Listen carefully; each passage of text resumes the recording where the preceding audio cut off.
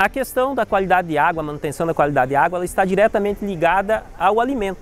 Tá? Então hoje o nosso bate-papo foi em conjunto, junto com o Evandro, que falou muito sobre a produção da ração, sobre a tecnologia usada na ração.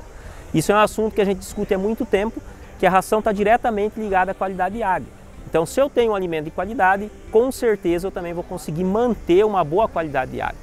Mas uma coisa depende da outra. Eu também preciso manter boas condições de qualidade de água para que o peixe possa se alimentar de forma adequada e ter a performance que vocês esperam lá no campo, ter o crescimento adequado, ter o ganho de peso, ter é, rendimento de filé, ter o que vocês precisam para ter um bom retorno financeiro da produção.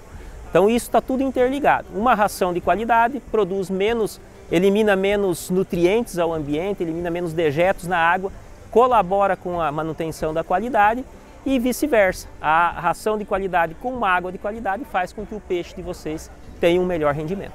A ração em si ela tem uma importância muito grande com relação à qualidade da água. Tá?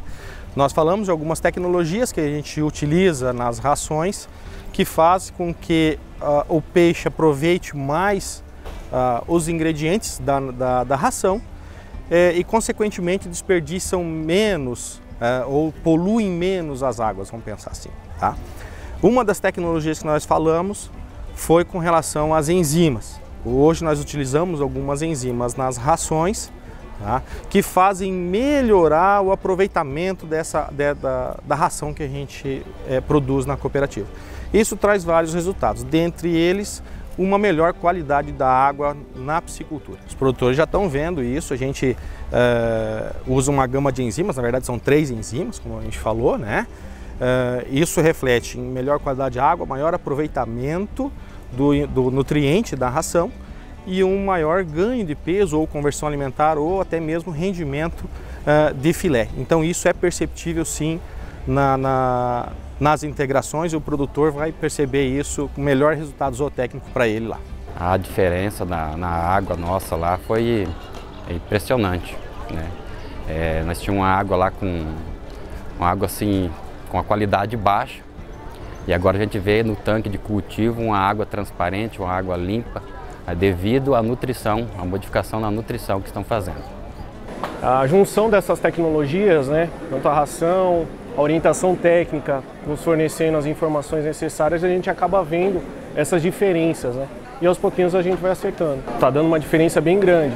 Se comparar com o passado, não precisa nem puxar muito lá atrás. Se puxar agora do lote passado, eu já estou vendo diferença no ganho de peso diário, que é o que importa para a gente. A piscicultura, assim, ela precisa estar tá em equilíbrio entre todos os elos. Tá?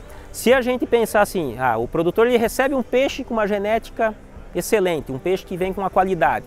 A, a cooperativa está investindo lá na genética, tem um alevino bom, faz um juvenil de excelência, entrega um produto bom para o produtor. Você tem uma ração de extrema qualidade, que é o que está sendo produzida pela indústria hoje da Copacol, uma das fábricas de ração mais modernas que a gente tem no país.